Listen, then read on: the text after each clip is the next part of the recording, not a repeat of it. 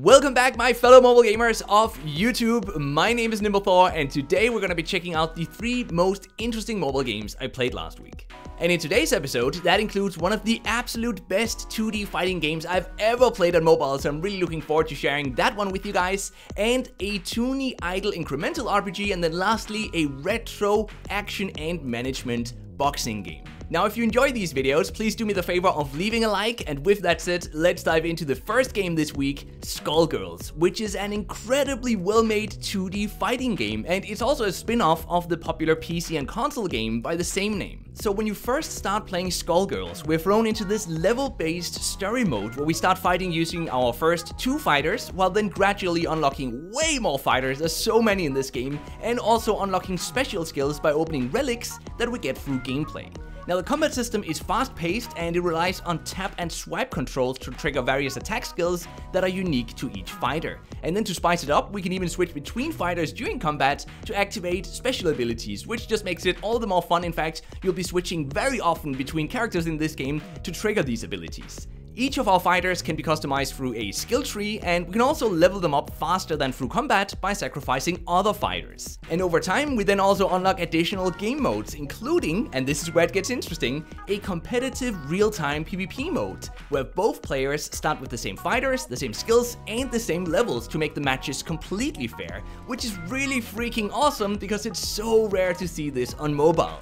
From its polished and wacky art style to the humorous universe and the original characters, everything about Skullgirls just oozes with quality, and I'm really enjoying it. Combined with the unique and over-the-top animations, this is what truly sets the game apart from all the other mobile fighting games. But the big question then of course is, how does this game monetize? And the answer is that we have in-app purchases for a premium currency that we use to instantly unlock fighters and new skills through the Relic gacha mechanic. So can you pay to get stronger in this game? Yes, you absolutely can, but thanks to the competitive PvP mode, both PvE and PvP can easily be played and enjoyed without spending any money on the game. The only limiting factor really is that each individual fighter has an energy bar that takes one hour to replenish once we've fully depleted it. But since we have plenty of fighters to pick from, there's always another one we can just switch to.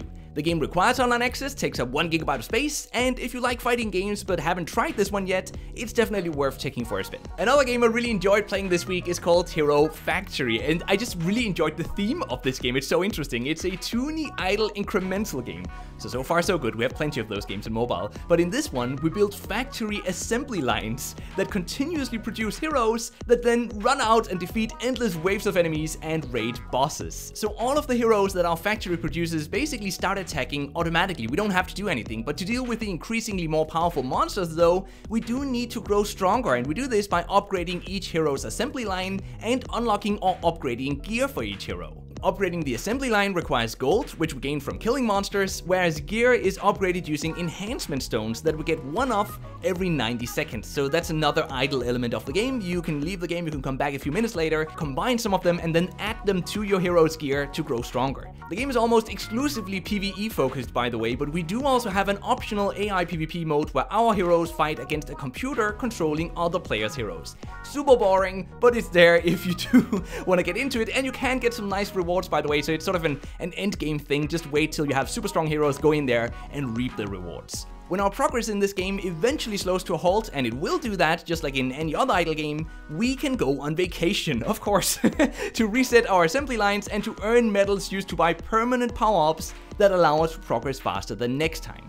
Thankfully though, we do get to keep our equipment and our abilities when resetting, so we're not starting completely from scratch. Although Hero Factory isn't as deep as some of the other idle games I've covered here on the channel, not yet at least, the art style and the monster designs are really humorous and progression is nicely paced. Hero Factory monetizes through in-app purchases for loot boxes that include gear, a premium currency that we also get plenty of for free, and a $5.99 season pass for the AI PvP mode, and then a few other items that let us progress faster. But there's also an incredibly large amount of let's call them opportunities to watch incentivized video advertisements in this game, which can thankfully all be removed through a one-time $16.99 in-app purchase. And although, yes, paying $17 for a free mobile game is very expensive, it might actually be a great option for those who end up falling in love with the game, because then at least you don't have to live with the incentivized video advertisements anymore. The game can be played offline, it takes up 440 megabytes of space, and if you can live with the incentivized ads or you don't mind paying to remove them, it's a neat little casual incremental game that is worth worth considering checking out.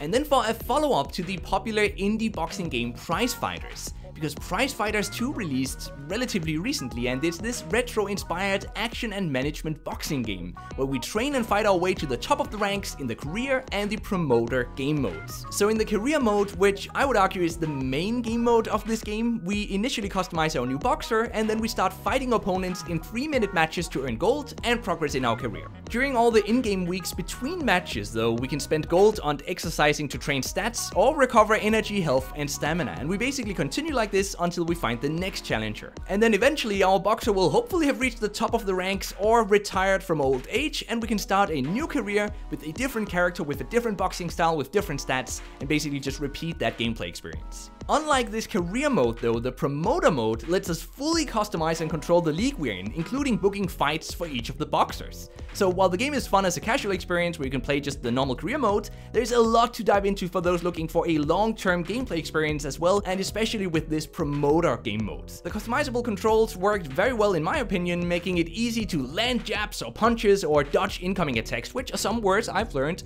that are associated with boxing. I basically know nothing about boxing, but here we go. The game is still fun, by the way, for someone who doesn't know boxing, so don't worry. Specific combinations of moves can even deal extra damage, and we can also unlock new skills and abilities for our boxers over time as they progress in their career. Prizefighters 2 is a free game and there are no ads in it whatsoever, so the only way it monetizes really is through a $2.99 in-app purchase that unlocks the full premium version of the game, which includes the promoter game mode, more customization options for leagues, and a feature that lets us import and export leagues and fighters created by other players. And that's where it gets really awesome because it means we can jump onto this game's Discord or Reddit communities and then we can go find these fighters, download them, import them, and use them in our own leagues and in our own game.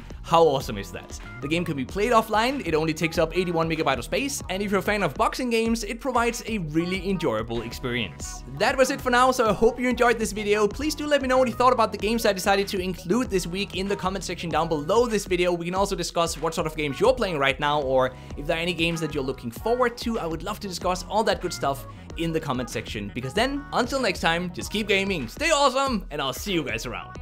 Old school inspired boxing Baxing, a Baxing game. Although Hero Factory, fa Factory, Hero Factory, at yet, uh, yet at least, ah shit, because Prizefighters 2 released relatively recently, and it, and it, it is, it is, it is this, it is, yes, it is.